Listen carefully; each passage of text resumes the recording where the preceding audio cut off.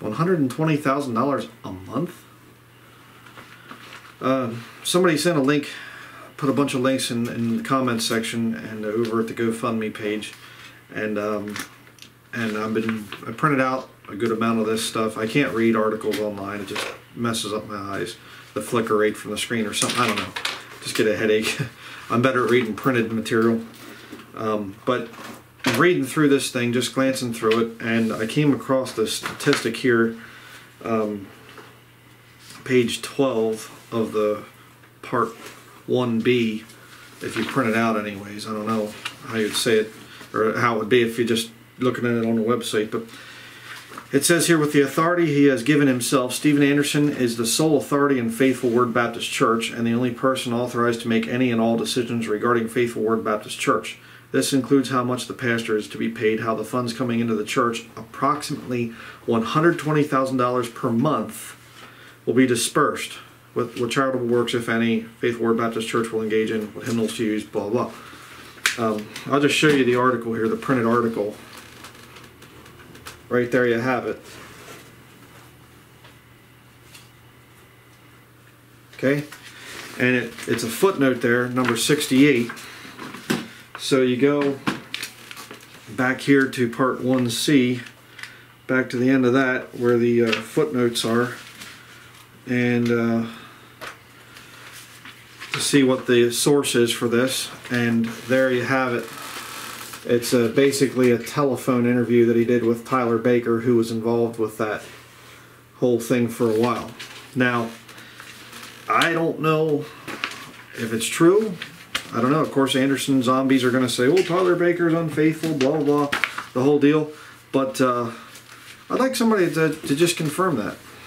Um, again, you know, there's some decent stuff in here that I would agree with, but I'm not going to recommend this because they're um, friendly towards James White. They're not King James Bible believing. They are uh, Calvinistic from what I can see. So, eh, you know, whatever. It's about all I'm going to do with that article. But uh, $120,000 a month. Uh, this whole hyper soul winning scam thing. Could you get my book on the Jack Hyles soul winning thing over there, please? Um, this whole hyper soul winning thing is just so disgusting. Thank you. You're welcome. Um, you know, right there, this whole Let's Go Soul Winning thing. Get the other one over there too that we have.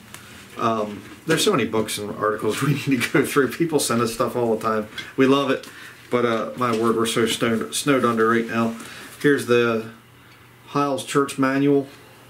You know, it should be called the uh, Hyles Business Manual. You know, the Jack Hyles business model, how to make lots of money. Um, Steven Anderson was a fire alarm inspector. Um, I don't think that you can make $120,000 a month from doing that. But boy, if you uh, get in there and, and use the uh, Hyles method,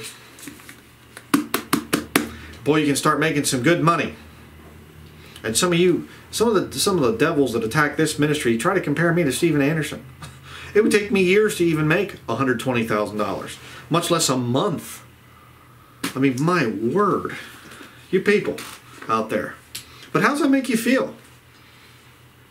And you know, you look it up, there might be what, maybe a hundred men, we'll just say a hundred men or whatever else uh, that would be tithing and things at Anderson's cult out there. That would mean twelve thousand or uh, twelve hundred dollars a month to reach that hundred twenty thousand a month that they're bringing in there at Faithful Word, you know, Catholic cult. And I realize he has his online online donations as well through PayPal and whatever else, but $120,000 a month uh, through covetousness shall they with feigned words make merchandise of you, the Bible says. Um, just disgusting. So I just thought I'd share that. Um, you know, I don't doubt it. I mean, I, I really don't doubt it. It's shocking to read it, but honestly, I don't. I don't doubt it.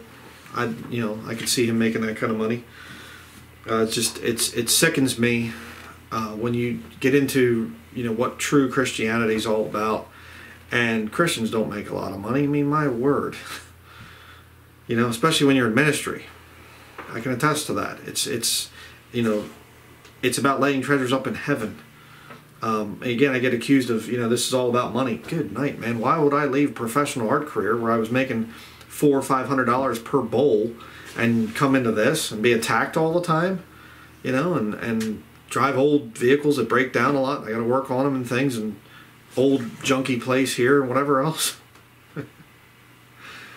oh my word! But I'm not legitimate. But the guys out there that monetize their channels, uh, like Robert Breaker and Gene Kim and some of these other guys, they're legitimate. They're real, and they have church. Well, Gene Kim has a church building, and uh, you know. Anderson's got a church building, so they're legitimate. They're the real deal. Their church buildings in the New Testament, but you know, whatever. Just disgusting. Absolutely disgusting to see this. And it's not, it's not, uh, of course, I'm going to get it put on me. Oh, you're jealous. Yes, I'm jealous. I wish I was making a million dollars a year. Yeah, sure, right. Uh, that isn't it. It's the thing that angers me is that people fall for these false prophets.